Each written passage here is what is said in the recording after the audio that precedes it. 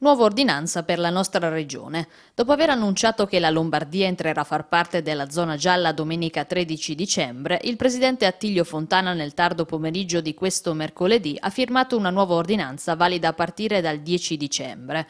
Le ultime disposizioni, oltre a confermare l'obbligo della misurazione della temperatura corporea per l'accesso sui luoghi di lavoro, prevedono fra l'altro una serie di obblighi circa le attività formative per gli adulti, le disposizioni per l'attività sportiva di base e l'attività motoria e le attività agricole di controllo faunistico venatorio e piscatorio.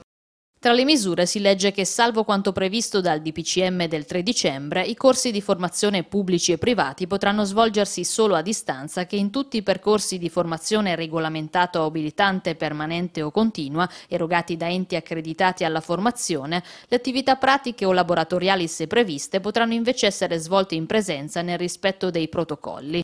Lo stesso vale per i tirocini ammessi sui luoghi di lavoro. Per quanto riguarda lo sport e l'attività motoria, potranno essere svolti presso centri e circoli sportivi esclusivamente all'aperto senza l'uso degli spogliatoi, fermo restando il rispetto del distanziamento sociale senza alcun assembramento.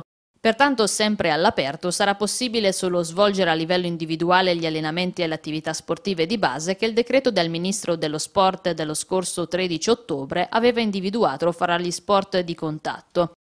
Gli allenamenti per sport di squadra a loro volta potranno svolgersi in forma individuale all'aperto e previo rispetto del distanziamento.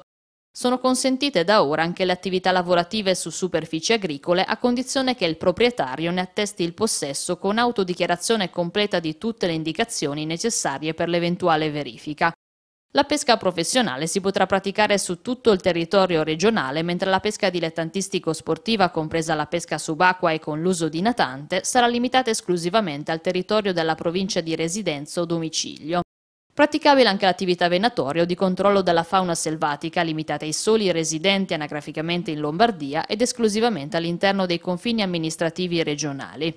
I cacciatori potranno quindi spostarsi al di fuori del proprio comune per l'esercizio dell'attività nell'ambito territoriale di caccia o nel comprensorio alpino di caccia di residenza venatoria o di iscrizione.